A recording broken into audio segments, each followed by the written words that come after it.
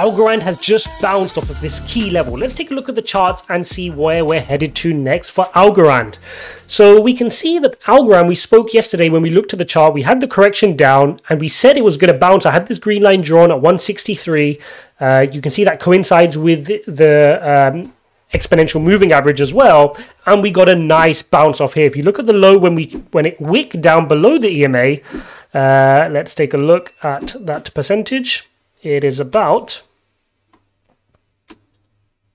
there we go you can see that's about 19% pump up bouncing strongly uh, with decent volume off of the EMA. Now, what we want to see here is we need overall strength in the market. So let's take a quick look at Bitcoin because you'll see a similar pattern here. Bitcoin came down as well. It had a wick down, which is what caused the Algorand wick as well. And we're starting to try build some strength. But you can see that Algorand is delivering more strength than um, Bitcoin itself. It's moving faster, which is what you'd expect from altcoins, but it's showing particular strength uh, up here 4%, as you can see, versus uh, other coins which aren't doing as well today.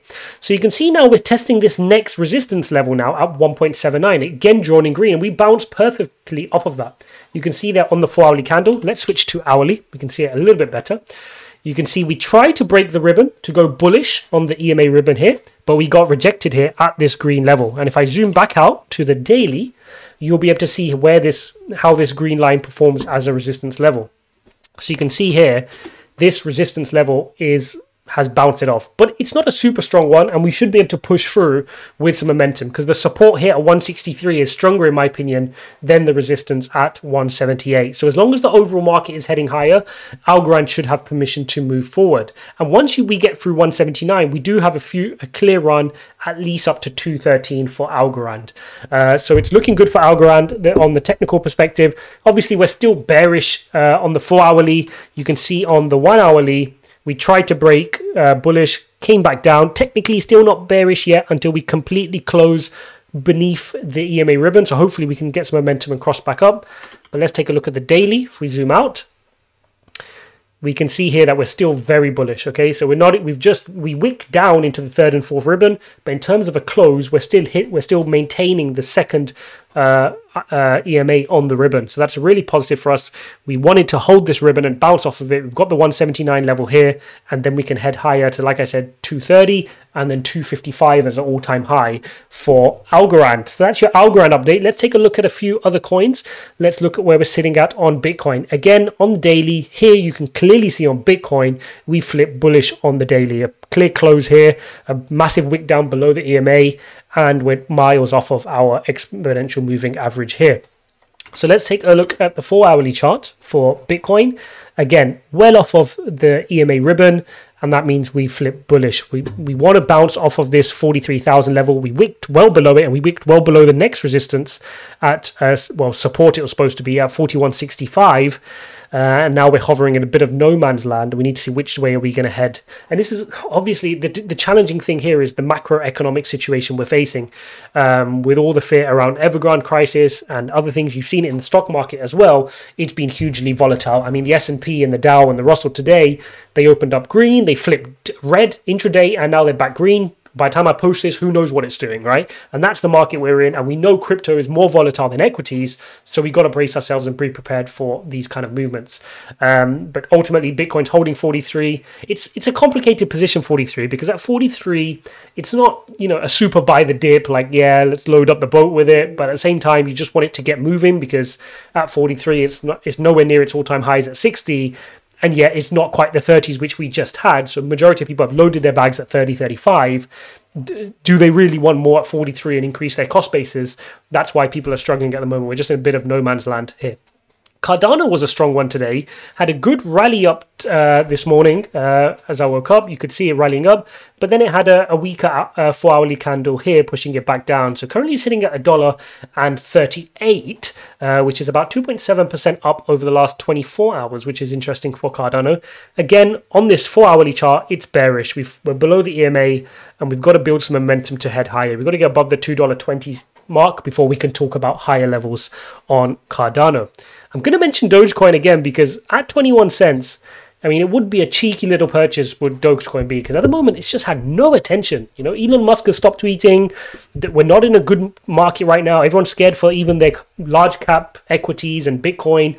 Nobody's talking about meme coins right now, right? And uh, Dogecoin's proven itself. It's in the top 10 uh, by market cap it would be a little cheeky one to put a little bit in there to see, you know, how when things go green, you know everybody's going to be FOMOing it back into Dogecoin. A couple of tweets from Elon Musk, and you're off to the races again. So 21 cents, well off its all-time highs, which we saw. If you remember, everybody was going crazy for Dogecoin up here at 35 cents, and you know people thought it was going uh, to the moon even at that point. If we zoom out a bit further, switch to the daily you can see the all-time high at 77 cents. So you're, you know you're you're well you're well below a third of the cost right now of the all-time highs. So you know it's an interesting one. But again, nothing major in your portfolio. You want to just keep a small bit if you're just taking a speculative uh, risk on Dogecoin. Solana. Let's take a look at Solana. Let's so you can see the absolute tear Solana's been on. I mean, phenomenal. Solana's in a very similar category to Algorand. You can see they've not fully flipped bearish just yet on the daily. They're maintaining the EMA ribbon here, and we're hoping for a good bounce up off here and a higher high on the daily chart. But coming down into the four hourly, you can, similar to Algorand, see that it's flipped bearish, but it's not lost its uh, EMA here. Okay, so that's an interesting point here. Is can they hold this light blue uh, EMA? And bounce off of that, similar to what we want to see with Algo. So if I just show you the Algo as well, exact same. You couldn't even tell that I switched. Come back down. We just had a little bit more momentum here on Algorand and it's pushing up. And you know I'm a big fan of all these layer ones. I don't need to keep repeating myself. Algorand, Solana, Luna, Harmony One, Cardano, they're all going to be greatly in a great position to compete with Ethereum going forward. So think long term about the narratives, about the storylines which you like, going into uh, another bull market. And remind yourself you know what kind of coin do you wish you stocked up on? Because uh, right now you're getting quite good pricing. I wouldn't say a, a, massive discount but you're getting good pricing on a lot of your favorite coins which when bitcoin was at 60 and some of us will remember that it was only a couple of months ago. It was only a couple of months ago it was at 60 and then a couple of months ago it was at uh, back down at 30. But when Bitcoin is on a tear and everything is pumping up, Ethereum was close to $4,000. Which coins did you wish you got? You know, the, the, go through your list Cardanos, the Solanas, the Links, the Matic, Dot. Start building out your portfolio, nibble a bit more on it, make price points for when you want to enter, and uh, start building out those positions because we know what happens when people start FOMOing in. Everybody wanted to buy uh, Solana at uh, $200. Everybody wanted to buy Algo at $2.50 55 cents. But so why not buy now at 1.7, right? If your conviction's there, you'll start nibbling. And if it gets any lower, then obviously you start buying a bit more heavier.